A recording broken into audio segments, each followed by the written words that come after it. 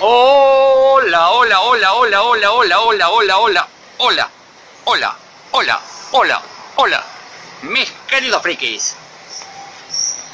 Eh, no es bueno que yo me quede mucho tiempo sin hacer nada y sobre todo me haya dedicado a estar pensando en algunas teorías que hace mucho que no hago teorías en el canal, ahora por lo menos casi dos años.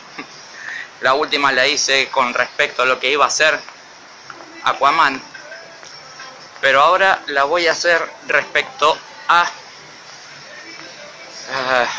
uh, un personaje intrigante que hemos visto en el primer capítulo de Star Trek Discovery, que es Kovic, y te voy a plantear tres posibilidades sobre este personaje.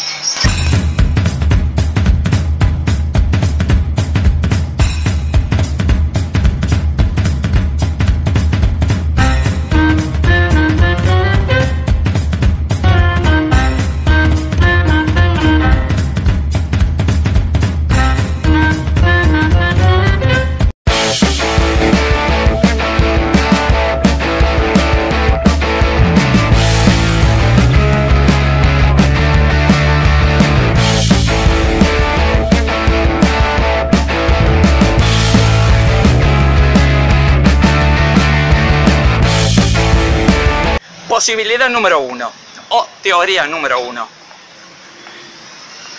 Kovic es de la sección 31.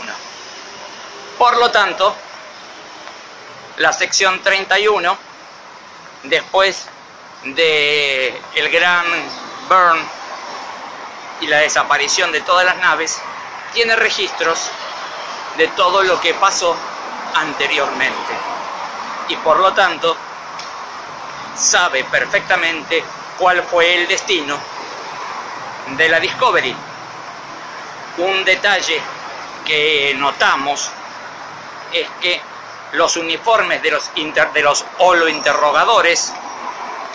que utiliza Kovic no son exactamente iguales a los holo interrogadores de la Federación cuando interrogan a la a la tripulación de la Discovery. Por lo tanto, también se asombra Kovic cuando Filipa descubre que son hologramas. Esa es una posibilidad.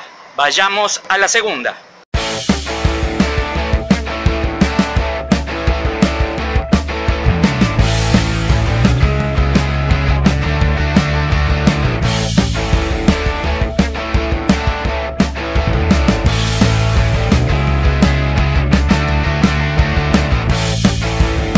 Segunda posibilidad es que Kovic sea también del Imperio Terrano.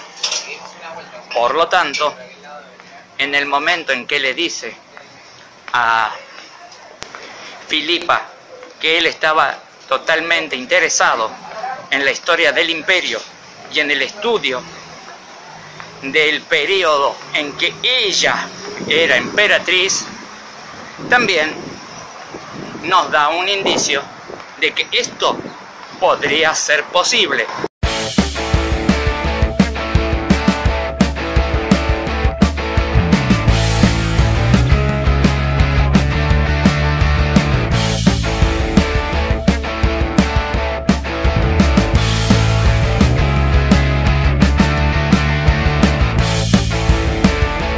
Y cerramos este periodo de teorías con la última teoría, que es Kovic es el presidente de la federación.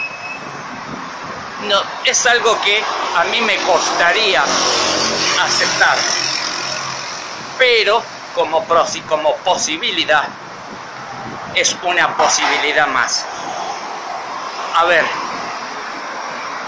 las teorías son eso, solo teorías, que las confirmaremos o las desecharemos con el transcurso de los capítulos.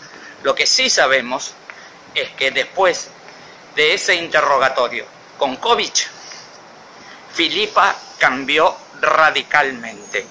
¿Qué fue lo que pasó? No lo sabemos. ¿Encontraremos la explicación en los próximos capítulos? Eso esperamos.